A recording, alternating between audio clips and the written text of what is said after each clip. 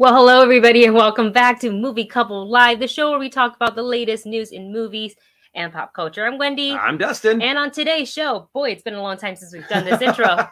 And on today's show, we're talking about Sony acquiring the film rights to Tarzan.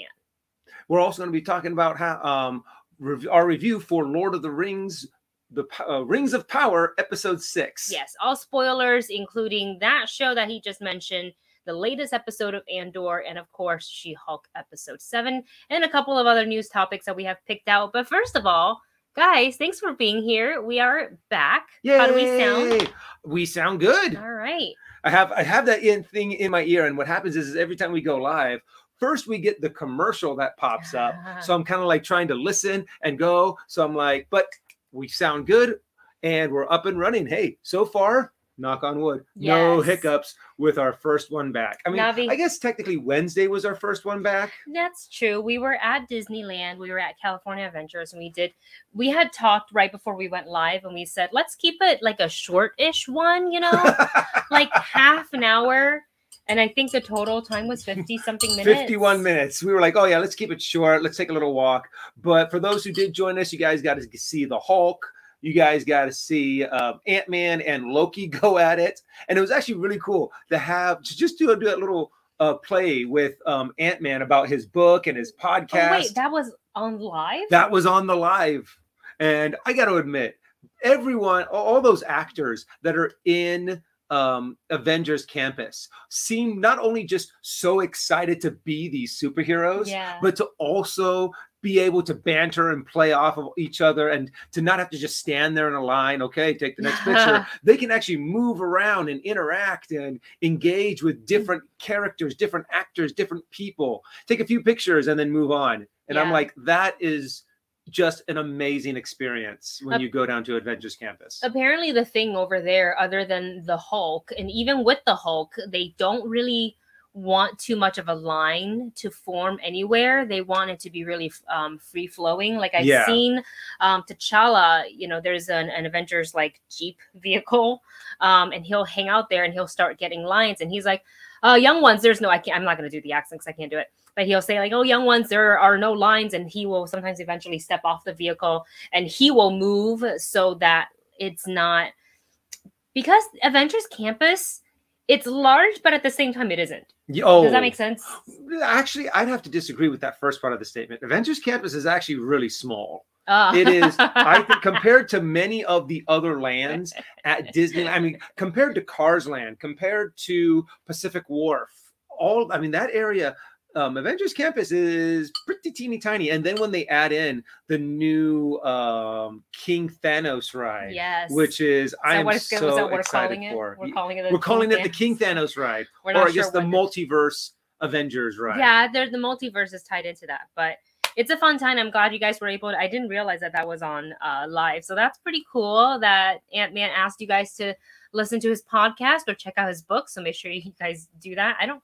Is there like a one-off? Like There's Paul Rudd Paul Rudd has got to have like jumped on that bandwagon and been like, you know, just for the hell of it, I'm going to make one podcast. Yes. See if I can clear it with Disney and be like, hey, you know what? How about I just do one podcast as um as Ant Man Yeah. and just put it up on and just put it up on YouTube somewhere. yes. Hey, we have our first super chat from Lou. Thank you Thank so you, much. Lou. Lou writes, Happy Saturday, Wendy and Dustin. Stay safe. Woo! Thank, Thank you. you. so much. We're yeah. trying. Bef- the reason why we're going at three o'clock today is because yeah, we had to run some errands, and Saturday afternoon tr- it's LA, but we didn't think it was going to be this bad of traffic. So Yeah, it took us, we were just going down from where we live to normally it would take us half hour at most one way, but usually not. And Mhm. it took us like over an hour to get there and back just to pick up packages because we don't have our mail um packages PR and things like that. We don't have it sent here. yeah, Um, just because it's less secure. You know about porch, pirates. I'm sure Yeah. porch pirates are guys know. everywhere. Even I'm sure they're in all different countries. People are like, "Hey, look, a package!" Yoink. Yes. So yeah, we try not to have a lot of our stuff sent here. So we had Yes. it. We have it sent to a mailbox. Yes, absolutely. Freeman Forever is here. I think maybe first time Hey! chatter. Writes, Hey guys, love y'all's reaction so much. Much love from Austin. Woo! Thank you, You so know, much. Austin, Texas. Yeah, right? Yeah.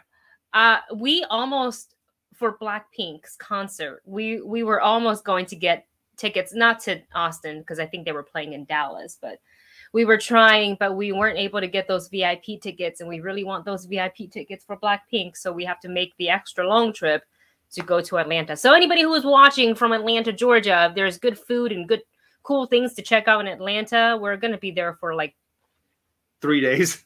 maybe less, depending. We're gonna Uh, fly in, fly sleep, in, go to the concert, sleep, Get out. go home. Yeah. So, uh, but if you have suggestions, let us know in the comments below. Uh, let's see. Da, da, da. Before we get into the topics, Marvin Martin's back. Marvin With, uh, oh, listen, I want to see his, His new. recommendation. oh, that looks like a D and D dragon. I can't tell Unless from it's uh, like it's so small I can't tell. I don't have my glasses. tell me on. what the picture is. It looks, yeah, it looks kind of like a dragon, a gull, like an orange dragon with like blue wings. Is That's a cool looking is it not a dragon. Mar- Marvin the Martian anymore? no, it's not. But I still think it's cool. Uh, who writes? Uh, Jeff Castellucci's ghostwriters and voice plays in the halls of the Goblin King. Ooh, I feel like I watched that one not that long ago. The voice play one. Uh, Boo, Unicorn for University. Yay! If you could be your own vampire type, what would you be? Oh, well, I guess there are very many different vampire types. I want to be the one that sunlight has less of an effect on me, Yeah, almost like a daywalker. Can't. Yeah, Blade. There we go. That's who I want to be. I want to be Blade. I want to be Blade. I want to be Blade. to where you don't have to worry. You have all of their strengths, none of their weaknesses. Um, you I don't want have to sparkle in the sunlight. Don't want to sparkle in the that's sunlight. drawing attention, unnecessary attention. I mean, I love glitter, but Mhm. that that's unnecessary attention to myself if I'm already a daywalker. I'm just Yeah, yeah, blend yeah. in.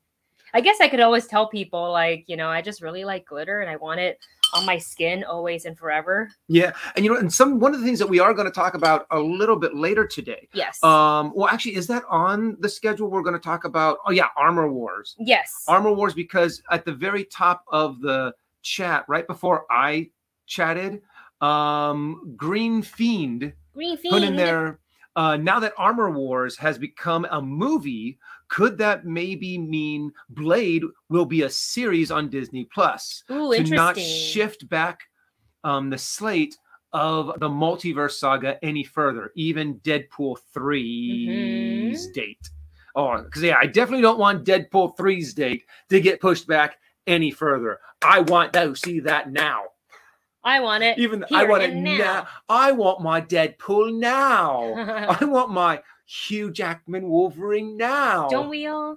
Don't we all? So, but now that it's honestly, I'm a little torn because I would have loved to have seen Armor Wars as a series because then you could really dive more into all of this Stark technology that is getting out, Mm. all of the different countries that are now having their own Iron Man suit, to where now Iron Man is kind of obsolete because everybody has a version of the Iron Man armor. Hence Armor War. And if I'm not mistaken, they're Navi, did you eat something off the carpet?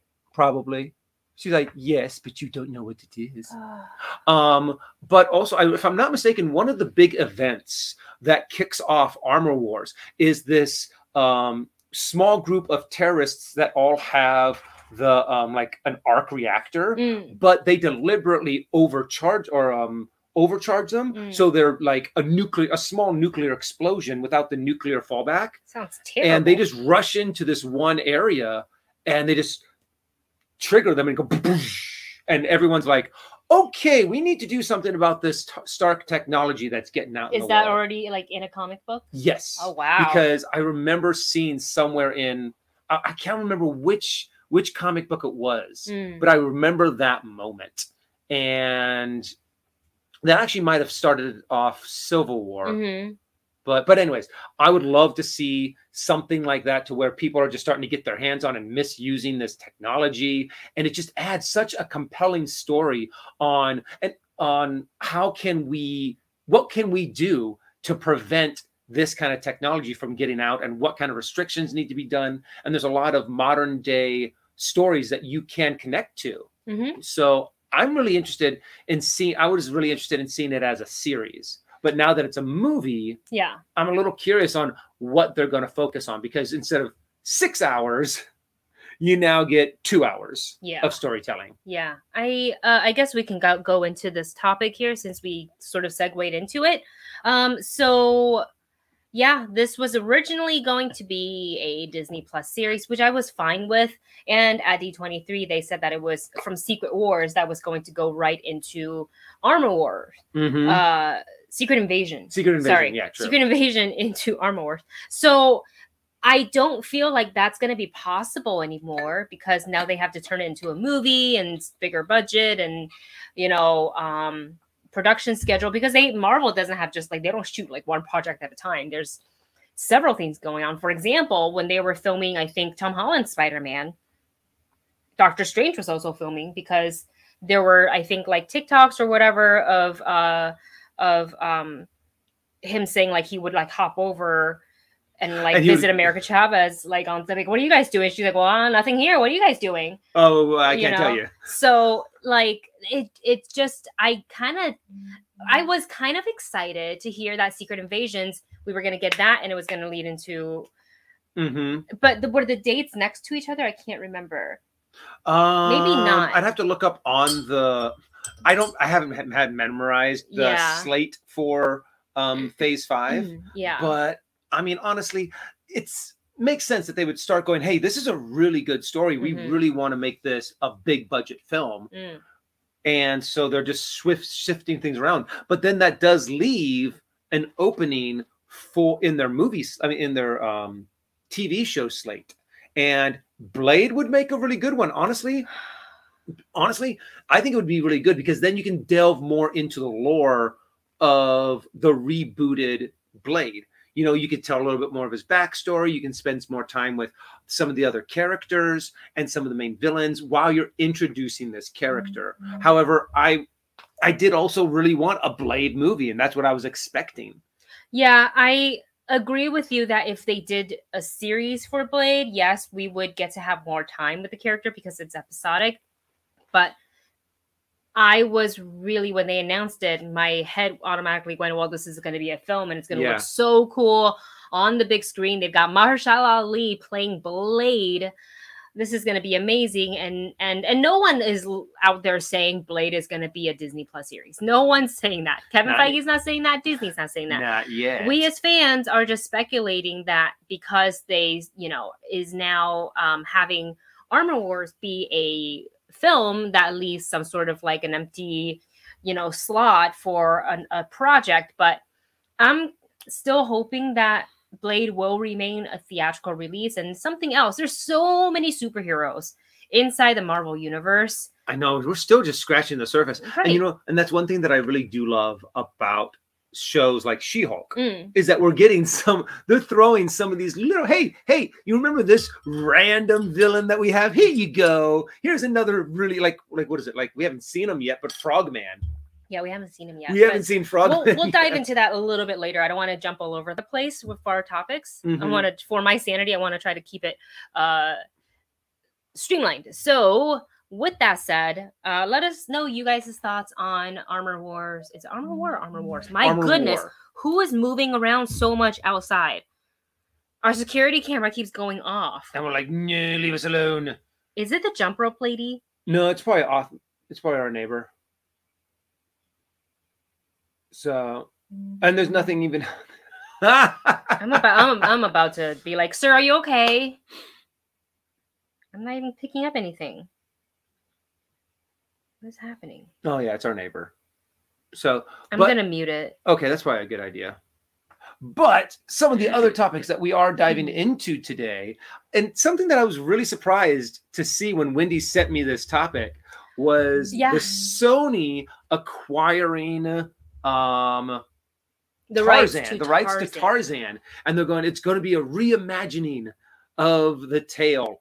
I'm like, How can you reimagine the tale that is? That is Tarzan. Yeah, a part of me is kind of still like, call it Tarzan. At this point, then wouldn't you just call it something else? Well, and also we've seen this story done a hundred times, and I don't really know anyone out there that's calling for "Where's our new Tarzan movie?" Yeah. Maybe like twenty years, fifteen years ago, people were like, "Oh, Tarzan," but now I'm kind of like, I think it's really oh, that It's story's told. done. Yeah, It's kind of like King Arthur.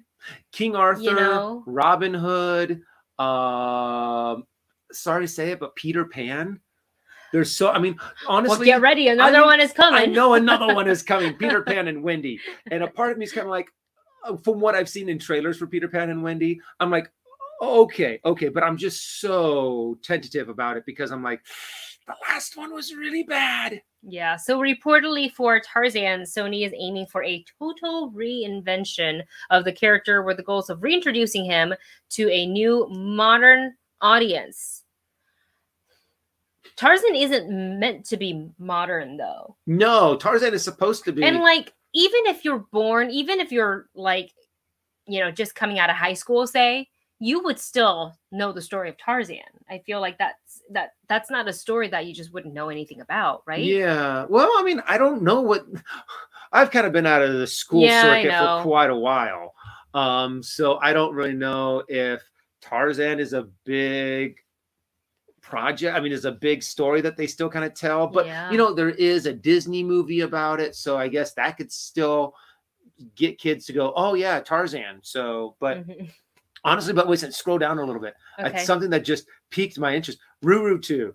Yes. This? Tarzan versus Predator. We can do kind of like a uh, prey version oh of it, gosh. but it's Tarzan. And Maybe that's Predator what we'll will get. swing through the vines. and Tarzan's like, I can do that better, and catches up with him and like tackles him.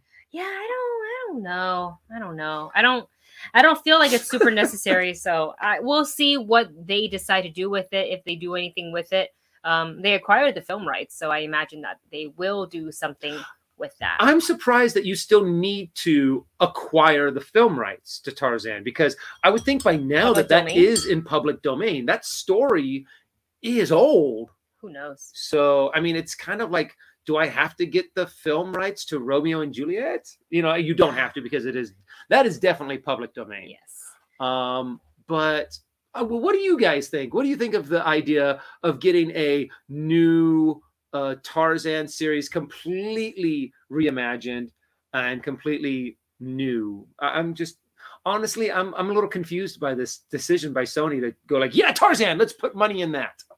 Um, they want to reintroduce the character to the modern audience, so we'll see what they what they do with that. Uh, next up on our topic of movie news, there is going to be a new take on Nosferatu, and this is going to be by one Robert Eggers uh, with our. I, I guess he guess he's working with the other Skarsgård because the Northman was with Alexander Skarsgård, and now Mhm. for this one we get Bill Skarsgård as the title character. Uh, Lily Rose Depp is also going to co-star in the film. So he is Robert Eggers is directing. He's writing the script, uh, and so I don't know how many of you guys saw The Northman. I feel like this is right up the alley for Robert Eggers. It's giving Lighthouse, The Northman, the like The Witch, like but Nosferatu. You know, now that you really mention it, and you kind of like reminded me of all tale. of the different movies that he that um Eggers has done. It's like, oh yeah, Nosferatu. That's right up his alley, right up there with like the witch.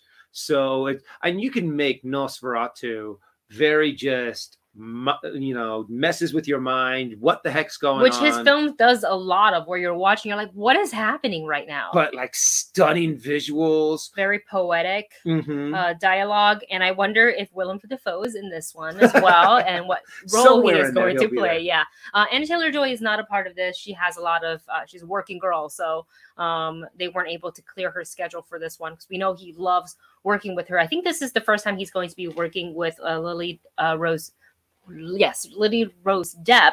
Um, so I'm curious, but I feel like she would be the right fit as well. I don't honestly know, just like speaking from just like you know the characters that I, I feel like she could have fun in i feel like this project she seems like to be the right fit for uh, she's got a show coming out uh, on hbo max i think next month or in a couple of weeks this month i think in two weeks called the idol uh, and honestly the first time the, the reason why i even heard about the idol is because jennie kim of blackpink has a role in it so i was like oh i gotta watch it for her but I'll watch it for everybody else. It's- from the creative mind of uh, Sam Levinson and The Weeknd. So I think uh, we'll see. The Mhm. trailers looks pretty intense.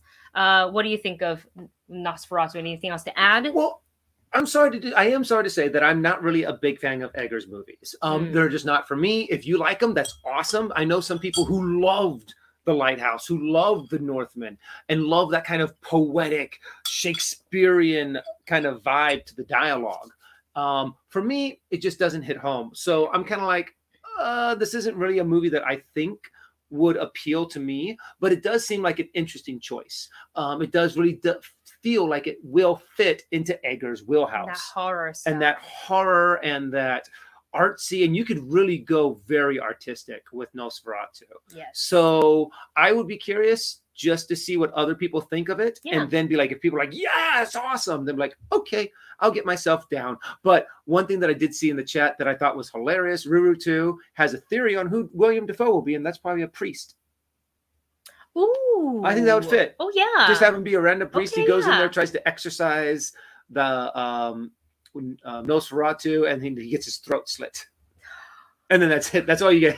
That's How all you get. sad. How sad for him Dafoe. Just in there enough to be like, yeah, Willem Dafoe's in my movie. Well, we get, we got a couple of years, I'm sure, before uh, we see that film Yeah. in theater. So we'll we'll try to remember Dustin's uh, prediction and see if it No, comes Ruru, true. Ruru too. Rurutu's prediction and see if it comes through. I cannot take. I cannot take credit for that theory. Uh, we have another super chat from Marvin Martin. Thank you so much. Thank you, Marvin. Marvin writes, "How to do justice to original and actually scary." I think that's where Eggers' kind of specialty is. Is he takes the root of that story, right? We'll take uh, well, I guess. Well, yeah, the Northman I think was was kind of an original tale. It was very Not an original. It was. it was, It a- was based off of the story that Hamlet was based off. of. oh okay So it oh is- right right right The yes. story of the Northman Mm. is really old because yeah, what was it? Um, Lion King took it from Hamlet, and Mm. Hamlet took it from the Northman mythology. Yes. Um, so I feel like I just feel like he's got a unique way of telling these stories. He's got uh, a very clear vision of what he wants his movies to be, and I feel like if you, it's very stylized, and I feel like if you walk into Robert Eggers films, you know what you're setting yourself up for. Now, if it's Yeah. your first time watching like a Robert Eggers film, you're kind of like, what's going on? You know, then take that with with with what you will. Um, what was I going to say? But yes, uh, I feel like how you know he is somebody who can do justice to the original and make it Yeah. creepy, scary, something like that. Well, and that's also kind of what the original story for like the Northmen was. It was a very, you know, presentational story of revenge from the Vikings. Um, Mhm. from so it would make sense that it does kind of fit the way that Eggers likes to tell his Mhm. um to like to to do his dialogue and tell his movies. Yes. Yeah, Rurutu says Viking Revenge Tale. Hey, before we move on with our topics, I just want to quickly remind you guys if you enjoy our topics, what we're talking about, the live stream, chatting with us uh, in real in real All of our geeky Time. talk. uh, make sure you hit that subscribe button and at the very least smash that thumbs up button the youtube algorithm has been awful lately and uh, when we got covid obviously we weren't doing any sort of anything because it was just we felt terrible um, so we were just resting and, And, then Wendy's just that cough. I mean, we couldn't you couldn't talk hardly at all without breaking into a cough. yeah that's why for episodes of andor like one through four you're not you guys who are uh, Patreon supporters you're not going to get a full watch along of those because I can't make it through the episode without coughing. It sounded like I started editing and I was like, this is awful. Uh, I think somebody caught it too. I don't know if it was Black Loki or somebody else that was like, hey, are you okay during this? It looks like you're struggling. I was like, oh, yeah, I definitely. The struggle is real. There were tears. I was red in the face. I was coughing a lot. So we just want to say that. And also, um, we want to say that you probably on YouTube um, will start seeing a lot more like YouTube shorts from us because apparently that's what YouTube is trying to push now. Shorts. Everybody's trying to be like TikTok. They don't want to be their own platform TikTok that they're successful on. Or Yeah. So uh, Dustin's been uploading uh, some shorts here and there. I'll be uploading some shorts here and there. So just look out for those. We resisted for doing it for so long because it ruins the aesthetic of what the page looks like, and I hate that.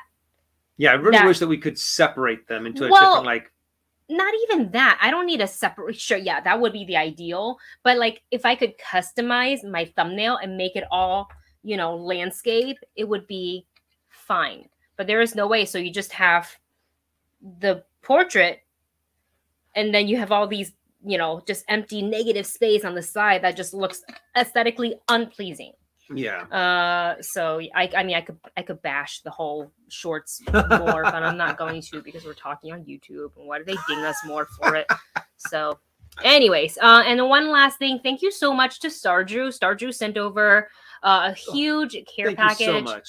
of snacks and goodies. A lot of it is Those gone because a lot of them dress- came to D23. the The, all the all dressing chips. chips. was the first thing gone. hmm that was the And, first thing oh, I opened. I, I sent a message to him through Mm-hmm. Saying, you know, I love the cinnamon toast crunch, the caramel cinnamon toast crunch that you got. I was like, oh, I've never tried this before. Oh, um, um, um. He's been eating it every day. Yeah. And, and I've been kind of like saving some so Wendy can actually have a bowl because Yeah. I don't want to be known as the one who just ate all of it. You know what always happens when we have food in the house? Dustin will do the the, the right thing and save stuff. me some. And then finally he's like, she's not gonna eat this. It's been weeks. So he'll finish it so it doesn't go bad. And then Literally "Oh, the next day, hey, where is this? I wanted to try it. you should have ate it a week ago. Without fail. So, but thank you, Star Thank you, Starju. If you're That saved here. our butts during D23. Yes. It has helped us sense to have food in the house. Yeah. So we really, really appreciate. we didn't even buy food at D23. That's how No. much, yeah, that's how much we we utilized your care package. So thank you so much for sending that over.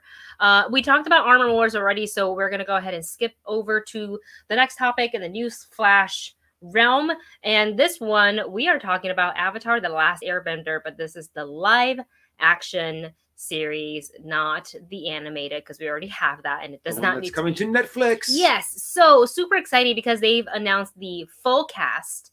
Uh, and when I saw this, I, I was like, oh well, like, okay, Finally. into it. So, um, if you guys don't already know, Avatar: The Last Airbender, not to be confused with James Cameron's Avatar, is a animated series on the Nickelodeon. There's uh three to four seasons for the original. There's three seasons: The book of there's there's three books, but then Earth, Fire, there- Wind, and Water. Shouldn't there be four books? Why do I feel like there's only three seasons? Why do I only feel like there's only three seasons? Yeah, but In any case, that is the original, mhm. and then they have a follow up called uh, the Legend of Korra.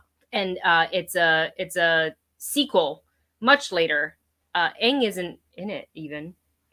No, no, it's because after his, Aang his- dies. Yeah, it's his his kid that's in it. So we enjoy that uh very much as well. So we have now the full cast, which is very very exciting. So for the Water Tribe, uh, Amber Ander, whoa, I can't speak.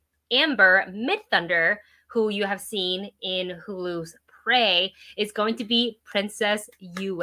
So, she is going to be the leader of the Northern Water Tribe. I freaking, I'm so excited. That is awesome. I love her. Uh, she did such an amazing I love Princess job Yue. in Prey.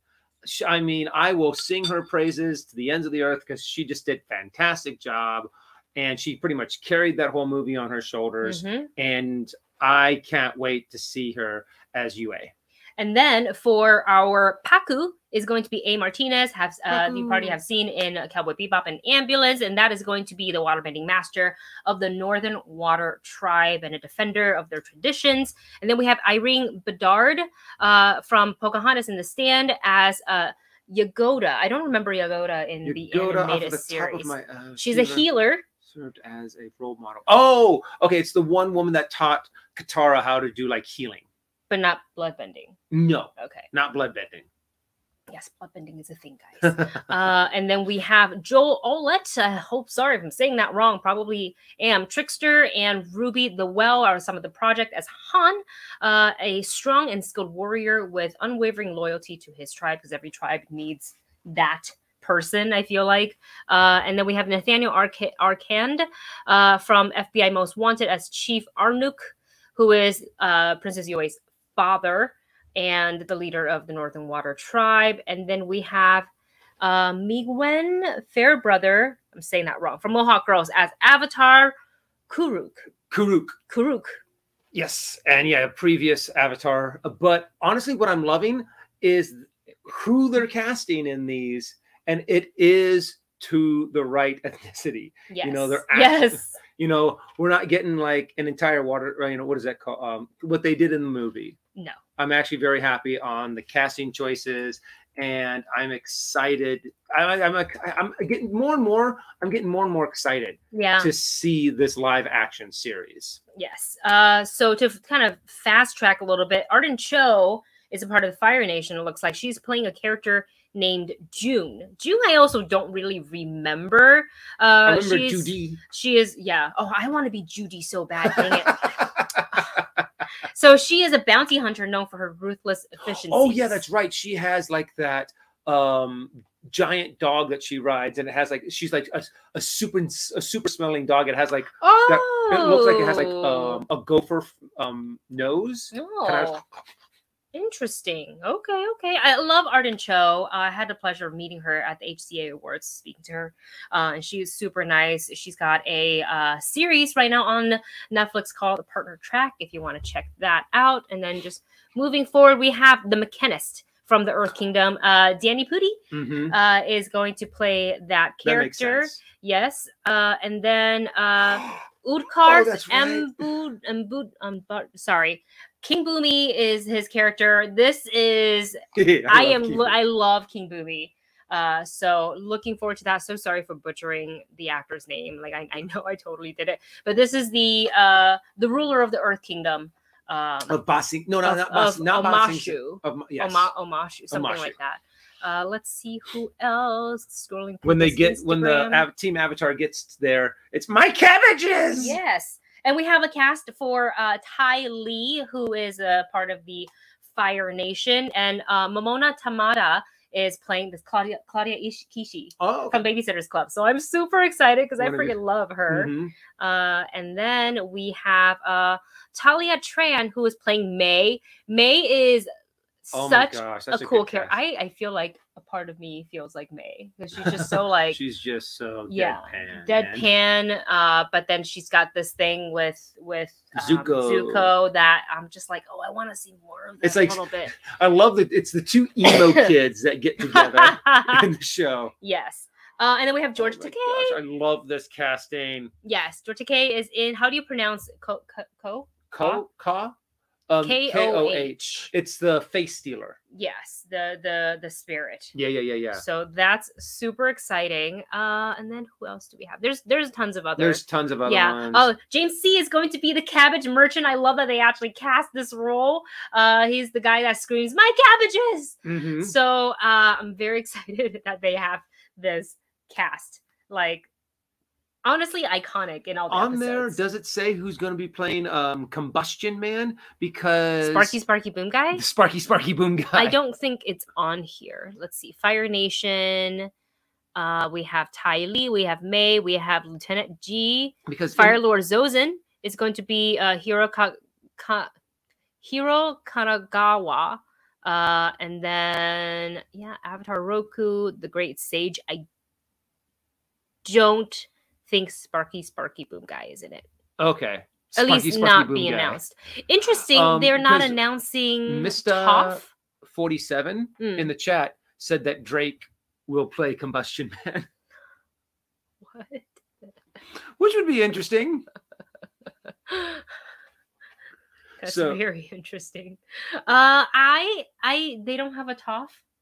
I know. I'm a little, you know, they they might, well, because Toph doesn't Well, come in until book two. she's also blind and i feel like they like they have to think about the way they want her they- Yeah. i don't think they should take that away from the character that makes Toph Toph yeah, yeah, yeah. having you know um so yeah, they, I'm wondering if they're going to cast someone blind for that. they role. can they could Mm-hmm. they could we have deaf actors you know and like the movie coda like we've seen it it's obviously doable so I think though, for the fight scenes, for a lot of the acting scenes, I think casting a blind actor would be difficult.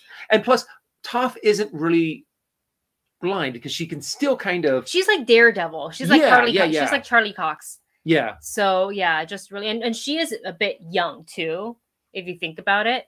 Yeah. Um she's she's a bit young. They're so probably going to make her a little bit older in the series to make it easier. to make it easier. Yeah. So, but we won't find out until Toph makes her appearance in season two because this is. Oh, that's right. She's not even yeah. I don't even think she's going to be in season one. yeah. So, But there you have it. That is the cast of Avatar: The Last Bender, the live action series coming to Netflix. Super excited about it. I can't wait. I hope it's good. I I I worry like the cast sounds great, but I worry a little bit because we've been burned before by the live action Avatar: The Last Airbender. Oh yeah. So I mean, it really make it just kind of puts that bad taste in your mouth, and you just remember going, "Oh, I remember being so excited for this movie, and it was so bad." And it wasn't like it wasn't even like, "Oh, you tried bad."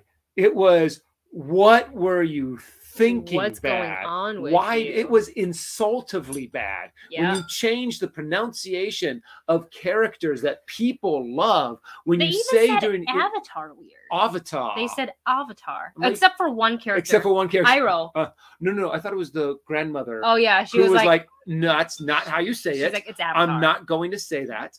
Fire me then. Yeah, and, and she, yeah, she was a, you know, like, I already had a career. I'm good. You know, go ahead and try to me. Yeah. Mr. six Sense. Yes. So uh, Mr. Yasman 300 says, let's not forget the original creators left after clashing with Netflix. True. Yeah, which also all makes that me, into which makes me a little nervous.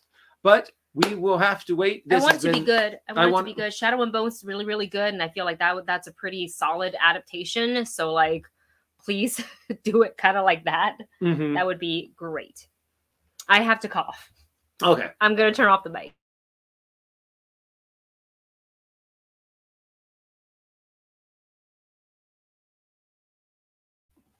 This is why we weren't doing live shows. I made it through 36 minutes without coughing. Do you need some water? I'm okay. I got my Uh, we've also got some liquid IV, which, uh, if you guys want, we have a promotion code for our liquid IV. yeah, just the movie couple. You have to get it. It's only redeemable on the Liquid IV website. It is um unfortunately it dropped a little bit. Uh we're always transparent with you guys. So we got the email a little while back. Uh, you still get free shipping with it. They didn't say anything about that, but it used to be 25% off. Now it's 15% off. But we haven't purchased uh in a while. So you guys let us know if it's still 25. Maybe it is. That would be nice. Yes. So actually, we can probably check after the show. All right. So, oh, Cassie Banks said I'm actually drinking some of that right now. hey. Dude, Liquid IV helped so much during D23 too. Oh and during gosh. COVID, during COVID, it actually helped. Like drinking water, just you know how everything tastes off and different when you're sick. Um, I still don't really have my sense of smell completely back. on- I would say maybe like 20% it's back, and it's been almost a month and a half. Yeah. And you still don't have your sense of smell back. I just said that. Oh, I thought you said taste. smell. Maybe I said taste. I don't know. But uh with drinking and people were like, "Oh, you know, during COVID recovery, sleep a lot, rest a lot, drink a lot of water even if you when you think you're not thirsty." And just like drinking water just didn't didn't taste right to me. I don't know, it, but li- the liquid IV helped me and if and I felt more hydrated. So go ahead and get some. Use the movie the code. It's just the movie couple, and you get discount plus free shipping. Should we move on with Yes. our next topic? Because now we're going to start diving into spoilers, right?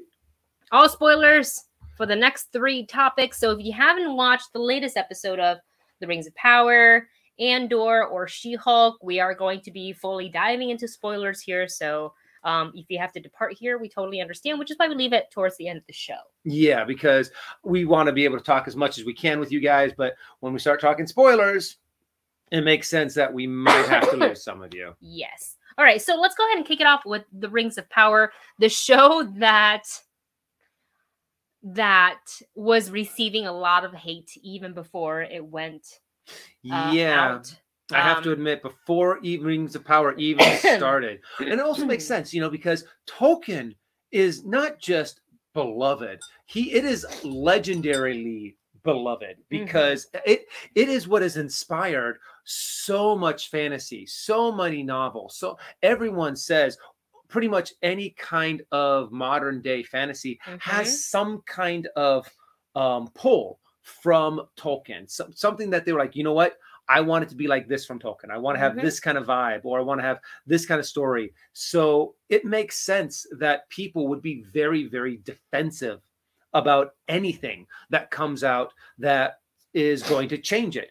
And I have to admit, so far, so far, I am liking the Rings of Power. The first six episodes, the first three episodes, I think was very much set up, but it makes sense because they have to cover thousands of years of time period that they Ooh. want to cover. Oh, did you find something cool? Uh, no, But- I was just reading the comments, not to interrupt you. Debbie uh, said, "Hey, you're not going to talk about the Return of the Planet of the Apes," and I was, I didn't, wasn't even aware that um, there is some news from two days ago. Uh, Justin Kroll from Deadline talked about this. It says the new Planet of the Apes movie taps The Witcher's Freya Allan to star and sets uh, uh, new title. And there's a first look. So this is the next installment for the 20th uh, Century Studio movie. Uh, and Freya Allen is set to star in the name of the new Planet of the Apes film. It's called Kingdom of the Planet of the Apes. And there's a poster of what that looks like. Oh, well, you know, the three, the saga of the pre Planet of the Apes Mhm. storyline, I thought did really well. I really the like first it. one was really good. The Yes. second one was amazing. The third one was okay, Mhm. but it still worked. I still liked how they told the story. So now it would make sense to be kind of like, well, what would happen if we now kind of told the original stories again? So I'm game, you know, Yeah. with the way that they were going before. They're they have a good path already tr- uh, blazed and ready to go check out and to remake this story. And also, it's the right age. It's the right. The, it has kind of all of the qualifications that you need to tell to retell a, a Mhm. movie or to retell a story, redo a story, or redo a movie. You know, you can have better special effects. You can update the story, and you can also change the story a little bit to kind of you know fit what society has become. Right. So I think. I- I'm excited to hear that. I can't wait to see what they do. I've I been wonder if what Andy Serkis is going to be involved in it at all. Ooh, I know not, as a an actor, Caesar, yeah, not as Caesar because this is going to take place in much in the future. See him on as an executive producer or something Exit, like yeah, that. Yeah, that's what I was thinking. because He he, can also play a different character because you're going to be, yeah. If you're master going, mocap. if you're going to be doing mocap, you want you want him there because yeah, he's the master of it. He's kind of like the godfather of mocap. Yeah. So, I'm I'm here's the hoping. Yeah, there you go. There's a little bit of uh, tidbit of that for you. Back to the Rings of Power. So episode six. Uh, this one was very centered on the villagers defending their home against the orcs, and we were watching this and going, "How they're orcs versus humans who mostly are untrained Mm-hmm. at, at, at battle. They have one elf, one elf, and that's it." That one elf has helped a lot. Yes. Um, so this it's funny that there's a lot of shots that reminded me, and I don't know if it's on purpose or what, but um as the orcs were, you know, marching up to the gates of the keep, it was it was giving a lot of um uh uh Helms Deep. Helm's Deep, yeah. I, lot. think that's the vibe that they were going for with that shot of all of the orcs just marching up there. And um, and I was sitting here going, what is the strategy? What is the plan? I kind of liked how they set it up. Yes. And I love the visuals. I love the set design.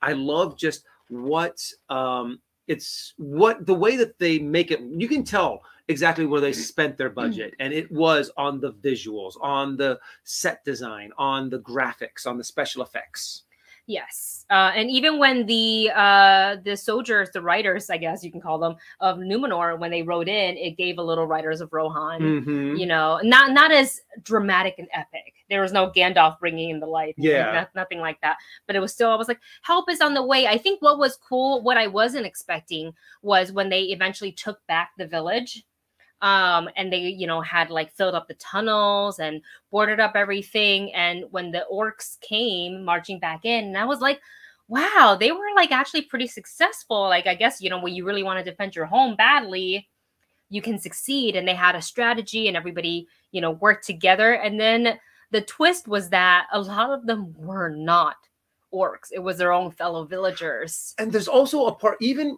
throughout this entire fight i'm sitting here going wait a second they can't win i know they can't win because we know that this entire land becomes mordor yeah we know that this is this the, all these villagers are going to lose but yet they had these moments of oh they won. How? How did? Oh, okay. They didn't really win. And that was kind of sad because I was thinking for the people, for the villagers that's that you know sided with the orcs and fought.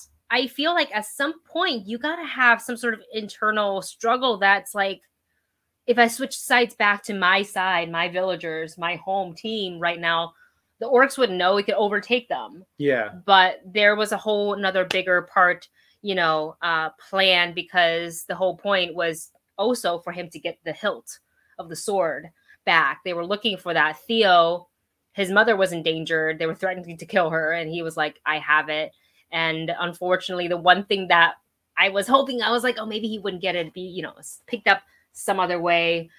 Unfortunately, ended back to the person who was looking for it, and that is how Mount Doom Yeah. was born, and it was I'm pretty epic like- to see. I was not expecting that. I actually liked that. Mm. What that's actually what they were trying to do was to mm. bring back Mount Doom. I mean, not bring back, but to introduce it. introduce how they introduced uh, Mount Doom. And I'm like, oh, the only thing is that I'm kind of like, wait a second, water doesn't normally go up a mountain. normally it goes down. So the physics of that doesn't quite work.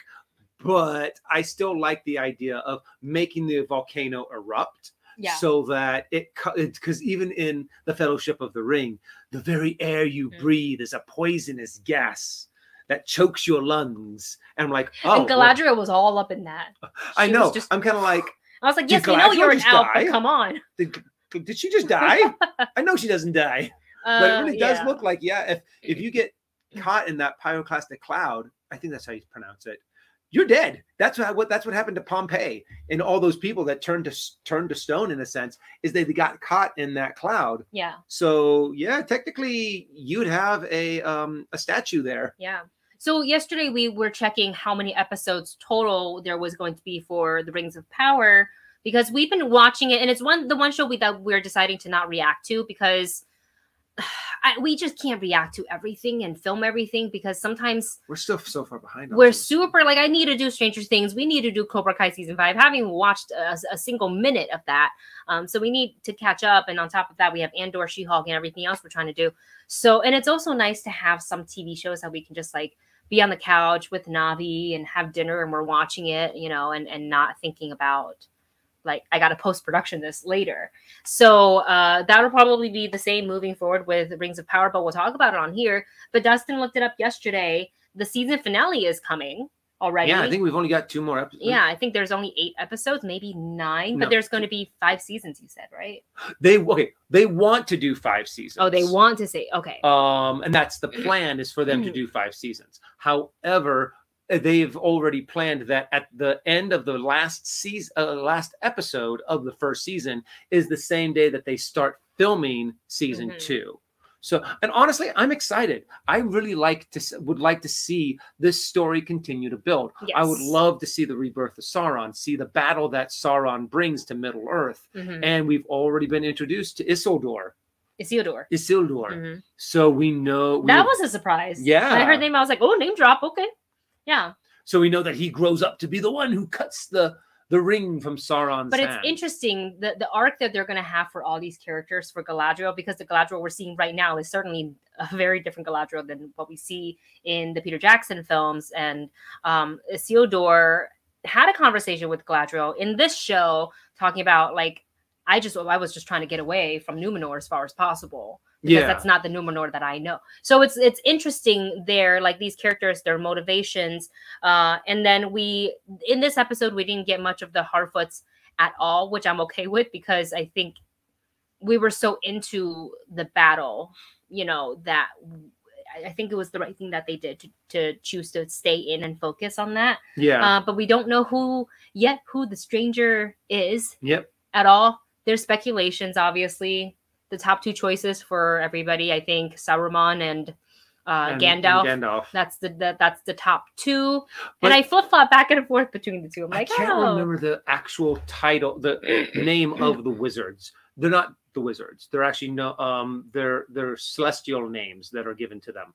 Um Mm. but they show up in the third age, which would have been when the war with Sauron starts, I think. oh, hmm.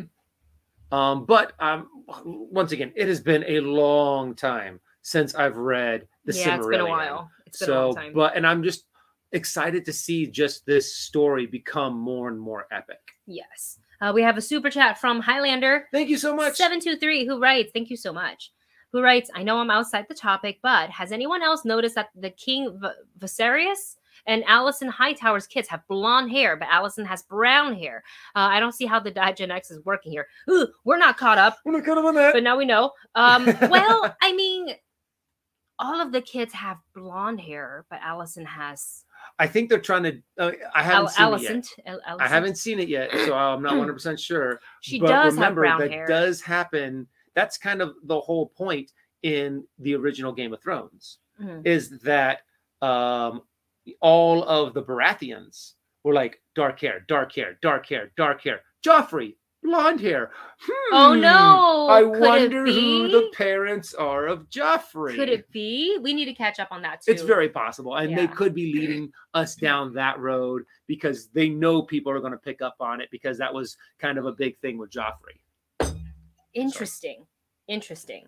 So we'll see. But it could also just be like just genetics, right? Like Yeah, I mean, it could be a recessive gene. but, you know, even though they don't know that back then, you know, there was a lot of things back in those times that they thought were true. That your hair color like, is not the same outcast. that you're just like, no, that's not right. That's not the way it works. Yeah. Yeah. So, Well, but guess we'll, find see. out. Well, when, when we catch up with that When we series, catch up maybe we'll have to do a binge once it once it's over because we're just so busy right now. Mhm, But thank you so much to Highlander seven two three for your super chat and question. Great question. mhm. Uh, yeah, certainly it's we can all speculate like maybe they're not all the the offsprings aren't all from the king. Mhm. Uh, okay, let's see. Uh, Cyber Goblin and Paul are saying Gan. Oh no, sorry. Cyber Goblin says the Istari. Is that the name Oh, of the that sounds familiar. Yeah, I think that's what they were called. Angel Wizards?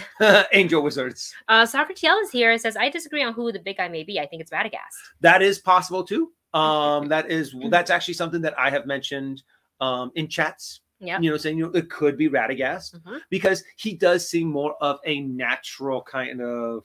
You know, they dropped him with the um the Hardfoots. The Harfoots, Hardfoots. So, not the Hobbits. but it also would make sense on why Gandalf has such a love for the hobbits Yeah, it makes sense. because he's been around with them for a while. Yeah. So I'm excited to find out. So we will be back next Saturday uh, when we do our live stream here. Oh, actually, next Saturday. Could we? Because you have work. Um, yes, I will have a break in We'll work. con- we'll condense it, so it might just be a spoiler only discussion, no news for next week because we're on a smaller time frame. Uh, but with that, let's go ahead and dive into the other show that we're excited to talk about, and that is Andor episode four. Uh, talking about spoilers, so if you're not caught up, uh, you have been warned. So this show, I was looking forward to the show from its announcement because I really liked Rogue One. I really like Cassian's character, and furthermore, I like Diego Luna. So uh, for him to you know have a little bit more to do in within the Star Wars universe, regardless of we how we know he's going to end up, yeah. makes me really excited. I think he's a he's a really good actor and he's fun to watch. Honestly, I'm exact opposite. When they first announced Andor, I was like, oh, I don't. I was for me. I wasn't that excited about it. I was kind of like, out of all of the Star Wars properties that they were coming out on Disney Plus, I really do think like Andor was the one that I'm like, well, we we know he dies in the end, so Yep. who really cares? Mhm. And um, don't get me wrong, I like Diego Luna. I liked his character in Rogue One, but I wasn't like itching to see more. Mhm. Um, however, when I started to see some of the um, clips, some of the trailers, some of the this is what Andor is going to be like, I was like, okay, I am really liking this dark, gritty Star Wars story. So as the series went on, as we started to see more and more, and as we started to get to watch the series, I just started to love it. Yeah. I love that they took this show out of the volume. I love that they're on location. Um, it's giving more of a movie cinematic vibe than a TV series. Vibe uh and and i'm not not not to say that like the volume isn't immersive because that technology is groundbreaking and it is really immersive but when you're in that environment you can smell the smells of the Yeah. land and all of that stuff. It makes a, a, a big difference. And i think what's really cool about episode four is we're getting to see the intricate works of this story. Yes it's t- called andor. A lot of it will focus on andor but also the people that he meets along his journey and that sets him on this path luthen being a key player in this Yes. uh, we love Stellan, Stellan Skarsgård. Hard to say it fast. Um, and the first time we get to see that duality of his. Yes, I what- that moment where you start seeing him put on the wig, put on the rings, put on the robe, and all of a sudden he goes from this hard kind of gruff character Grumpy. to a little bit more presentation, present, presentational. To oh, welcome to my store. A little bit of a Gil, Gil um, Gilmore, um, Gilmore's glorious goods Oh, from Critical Role, yeah. from Critical Role a little Vox bit, Machina. and I'm like, all right. I loved how it switched. And when they introduced Mon Mothma in this episode, I was like, yes, to see the struggle, to see them in this hostile environment, trying to change it. And like, I'm being watched. We have to be careful. Um, but I still need support. Where's the money you promised me? Where's the support you promised me? And seeing them go back and forth and but then still come out and then give their presentation. Oh, oh, your husband will love this. Yes. Yeah. It's uh and it's just a just a cover. And when he pulled out the makeup and he had a whole like secret compartment area on his sh- on his ship, Which I was like, admit, that ship's oh. cool. he is in deep like and and an art stealer is the perfect cover he can move things without people like looking into him too much they're like Yep. oh he's just an arts dealer he's kind of wacky and you know he's creative and whatever It's a perfect front for someone who wants to yeah. support a rebellion. yeah so uh i really like that and seeing the other side of like how the inner workings of it for the people who are fighting to build the rebellion. So from Mon, Mon mothma who was a very iconic star wars character but we never really knew much of her personal life. Yeah. and in this one we knew she's got a husband. She's knows that she has to be so careful because she's being watched all the time. She's got a new driver. Everything is spies are everywhere. She can't move the money around. And luthen's like well i gotta have the money or my people are starving. Like and he's not trying to cut her any slack either. He's like i understand but like you you gotta understand me. Like we're trying to do this. Things are getting bad. So are, are you can you do it or do i need to find something else? Um so i i love that we got to do to see a little bit of that of um, Mon Mothma, and in the next episode, I feel you know obviously Andor and his, his tiny team of seven uh, is is going to go and uh, what get the payload. hmm And I like the fact that what Andor instinctively did when he started to hear the plan, his goal was it, you could tell that he was like, I'm going to try to punch holes in this. Yeah. And see what holds up. Mhm. And finally he was like, Oh, that's your cover. That okay. And then when he finally figured out this could work, that's when you start seeing him get a little bit more excited. He was like, All right, let's do this. And I'm I'm that makes it so excited for this heist. Mhm. I want to see them pull it off. I want to see them just cause massive destruction on their way out. Get all of that money. And I'm hoping I feel I have a okay, I have a Mephisto theory. I have a Mephisto theory with this that I would love somewhere either in season 1 or season 2 where everything seems to be going right for the rebellion. They're pulling off these jobs, getting these this money, um, hijacking or sabotaging different empire things. The one that goes massively wrong is the one where they do an attack or try to do a job, and Darth Vader is there, and they just get destroyed. And Darth and um, Andor gets out by the skin of his teeth. I would love to see a moment like that to just kind of give us all this. We've had this entire adventure no Jedi, no Sith. It's rebellion versus the Empire. And just give us this little reminder of, oh, yeah, that's right. We have some massively evil, very powerful people that we are fighting against. So maybe I'm hoping. So I, I'm hoping that we'll have just a sm- kind of like how we had Darth Vader a little bit in Rogue One. Yeah.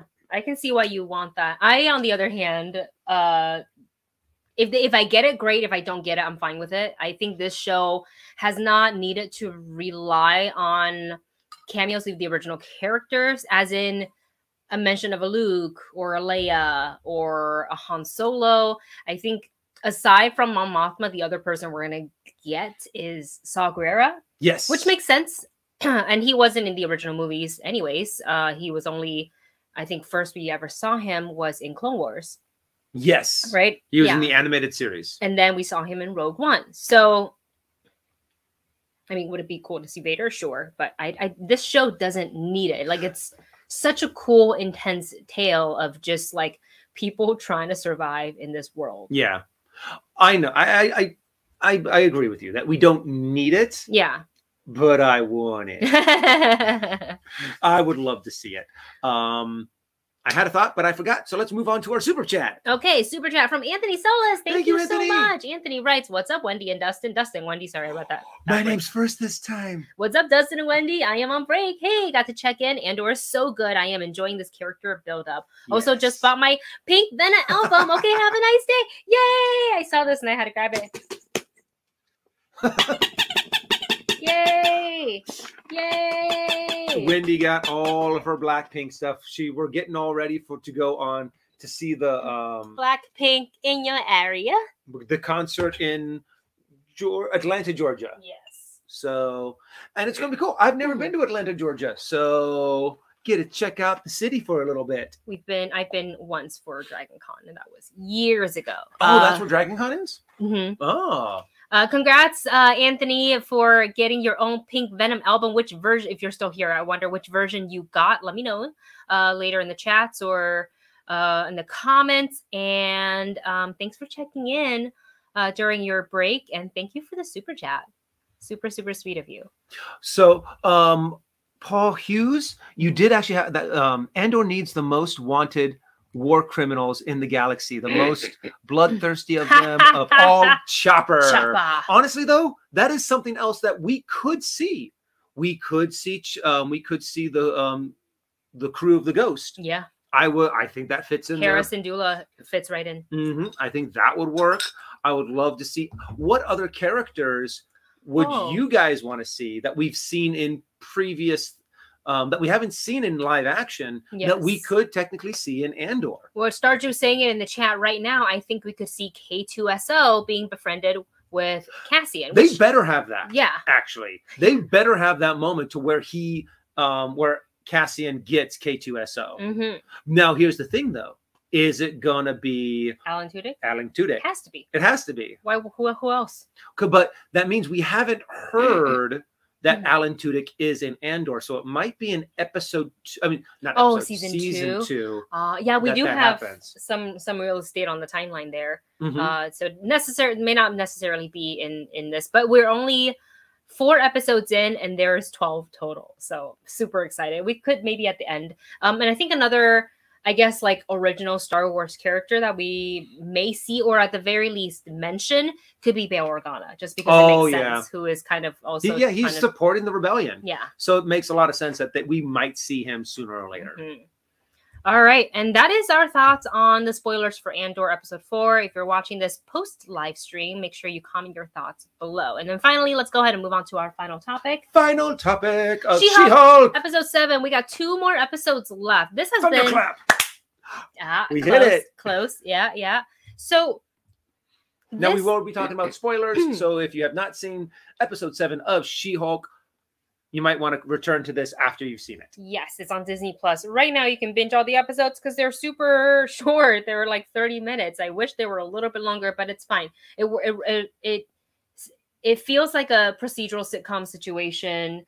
Um and it's very very different than any other Marvel shows like it's does it's self-aware, it doesn't take itself too seriously It's very campy. it in fact has a very self-containing just as one-off wedding episode that i very much enjoyed because it spoke to me like i've been to weddings no i've been a bride so the whole bridesmaid i was kind of like i can see it all the, the the tropes i can i can see it all coming and i thought it was funny um so in this one dustin and i have been enjoying a lot of the episodes Uh, they're not all perfect. Some we like more than others. Yeah. I would always find little say- things that I'm kind of like, uh, I didn't quite like this. I didn't quite like that. Yeah, But overall, I've been we've been enjoying them. Yeah, and Tatiana Maslany is fantastic uh, as Jennifer Walters and She Hulk.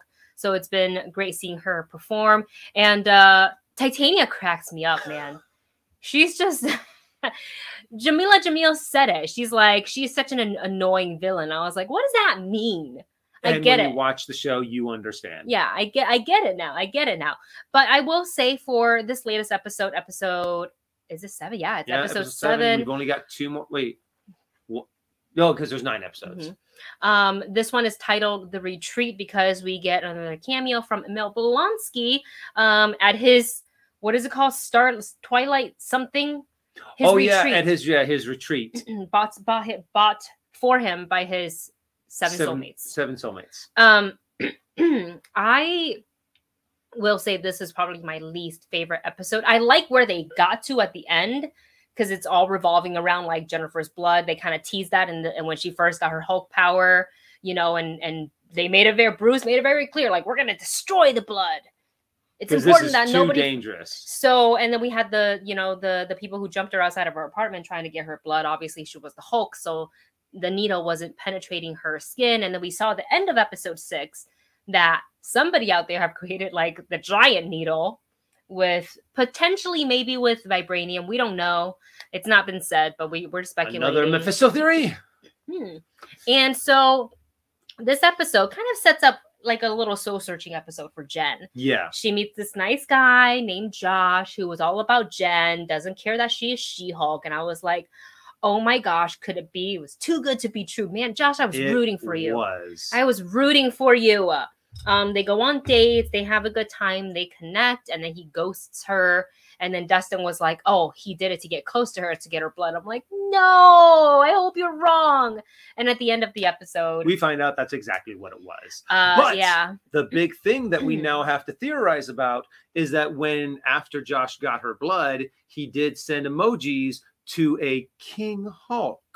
So who is the King and Hulk? it was blood and a little vial and a thumbs up. Like, Mm-hmm. Mission accomplished. Yeah. So my guess is is that they are going to be leading up to the leader. That we will get some kind of um, hint that it's the leader. We're going to see a big green head at the end of it, Mm. but and then we'll get the big reveal in Captain America. Um, New World, Order. I was like, I knew the title of it. It's on the tip of my tongue. So yeah, there's other speculations as well. You know, we think it's the leader. Potentially, it could also be like this is kind of wild and like very unlikely, but like Titania could could be it just because. And the only reason why I even say her name is her and Josh were at the same wedding, um, and he talked to her to the person in the text via emojis. So I mean, granted, it's faster than typing out, you know, whatever. I like guess. it's just three emojis. It's easier, but I feel like that's emojis in a text is a very Titania thing.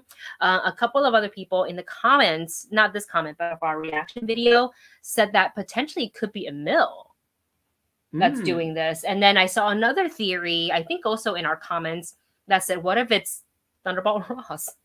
Very possible because I mean, we still also want some way to bring in the Red Hulk. Mm. Um, and Mm, that mhm, could mhm. be, I mean, because he would, if he is experimenting on himself to be a Hulk, he would probably consider himself to be King Hulk. So, oh, and we are breaking up a little bit. We do apologize. Oh, sorry. There we go. That's better. There we go. Back to normal. But I'm really curious on what, yeah, who's doing this, who's behind all of this. But that is one thing that did actually piss me off about this episode. You know, when She Hulk is at the um, retreat and she sees one of the wrecking crew there and then has this um, heartfelt conversation with the group. I'm sitting here going, Why did you jump me? Why did you not Who ask him sent you? who sent you? someone Why? sent you? Right. That is like the first question that would have come out of my mouth. Tell me what you know and why did you do this? And they just completely glance. I'm over guessing for Jennifer Walters, she's more, she's maybe not thinking someone was sent. We as the audience know because of we heard the conversation of those guys in the car once they got beat up. She wasn't there for that. So she just thought that these four guys got some magical tools and they could try to beat up the She-Hulk. Um, so may maybe her brain isn't there, but we as the audience know that. So we're like, why? Why didn't you ask? Because I wanted to know. I wanted to know. Uh, and I felt like the retreat again, great journey for Jen, and she needed to work past some issues, and it was a great uh, way to show off some of the more obscure, uh, I guess lesser known Marvel characters. We have Man Bull, we have uh, El Aguila, uh, Aguila. Sorry, I'm saying that incorrectly. Uh, we have Porcupine. Porcupine and uh, Saracen, who was a vampire. Again, blood. or he thinks he's a vampire. So, and honestly, I think that's hilarious. Um, that fact that we're able to get just some of these, ran- I mean, whoever would think that we would get like the Wrecking Crew Mhm. or we would get Man Bull in in a live action anything for uh, uh, for Marvel. I mean, this is the greatest thing ever that we're getting everything to come to life Yeah. in Marvel. Yeah. So I'm I'm I'm all for it. I'm excited to for them to show us anything. And if I'm not mistaken, someone did mention that some of those characters at the retreat are mutants. Uh, Manbull is a mutant, I think. Uh, or was it Porcupine? It was one. It was one of those two. I did. I did a little bit of uh reading. Cyber Goblin says Saracen spends a lot of time outside for a vampire. He's like Blade. He's a daywalker. maybe. Yeah. Uh, so I just thought it was cool. Thank you so much to Black Lala Thank you. uh for sending in a super sticker. It's a cute little. What does it say? it says number one. Aw, thank you. know, number cute, one. cute, cute, cute. So yeah, um, next episode I imagine will be longer than the traditional 30 minutes that we've seen so far in this season Yeah. because based on the trailers, we still Mhm. have yet to see Frogman Yeah. No. and frog- obviously Daredevil. Yeah. Well, and this is the thing. They actually have a lot to wrap up here because Ah, we yes. still have to do. El Aguilar is is also sorry, that person is the mutant. Oh, he channels okay. bioelectric energy. Thank you, Cyber Goblin. Okay. Okay. And Um, Manbull is genetic experiment. Ah, got it.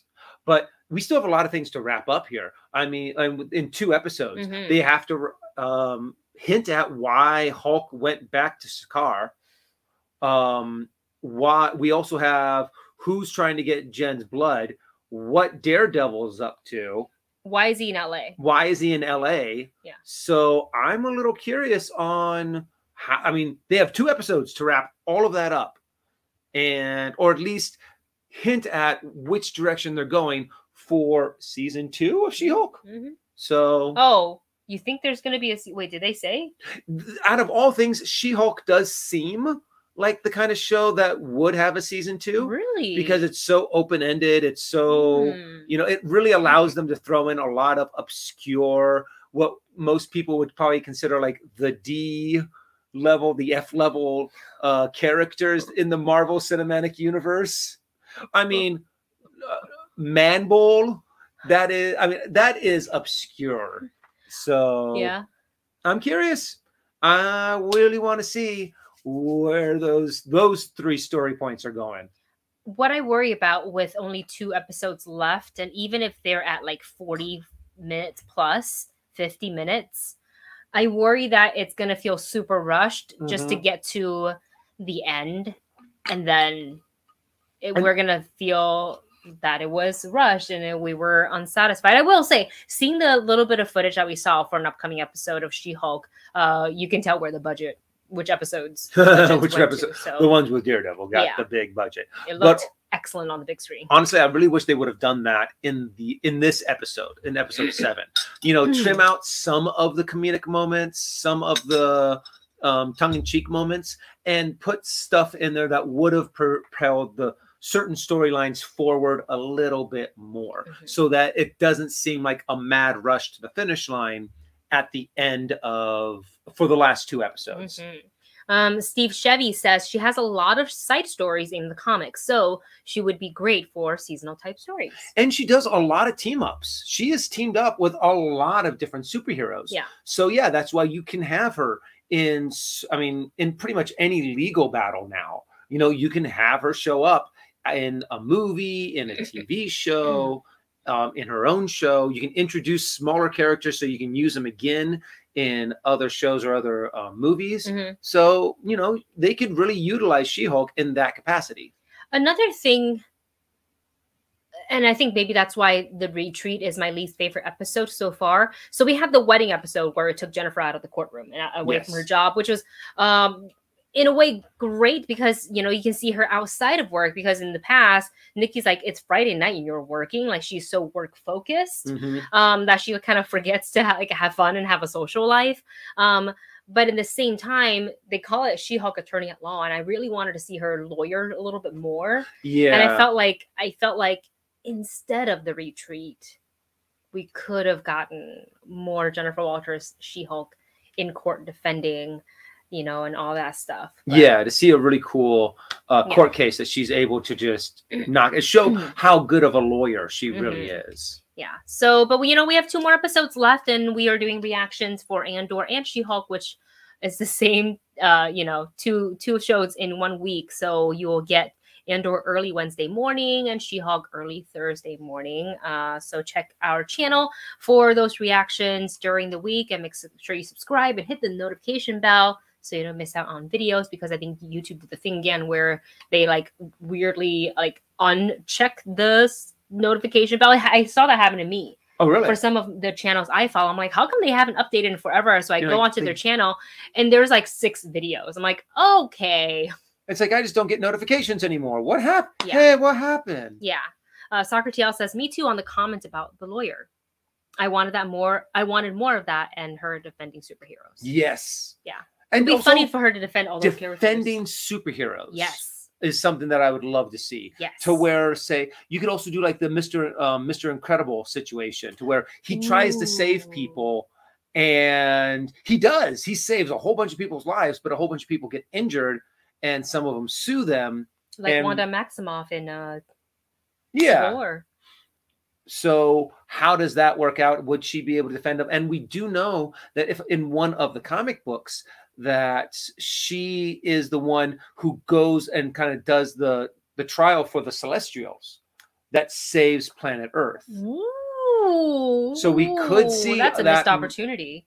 Mhm. Oh. To I see mean, they haven't done it yet. They lawyer the Celestials Yeah, they still could do that. They still could do that. on but- why humanity is worth saving.